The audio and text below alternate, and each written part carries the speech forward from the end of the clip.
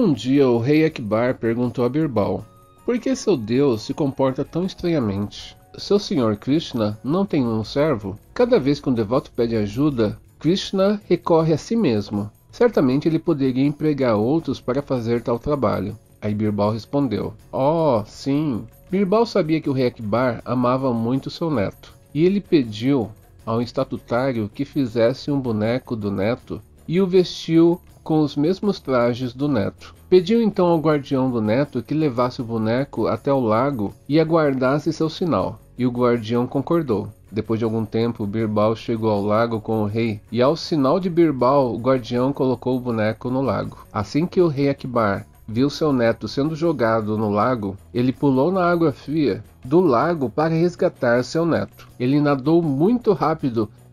Ao pegar o neto, percebeu que era apenas um boneco de cera. Birbal comentou: Vossa Majestade, por que você pulou no lago frio para resgatar o jovem príncipe enquanto você tem tantos guardas e servos a seu serviço? E o rei respondeu: Ah, eu tenho centenas deles, mas meu neto é precioso. Eu não consegui me conter. Agora você entende, Sua Majestade. É por isso que Krishna, que ama cada um de seus devotos, vem rapidamente ele próprio em seu socorro. E o rei Akbar concordou com Birbal sorrindo.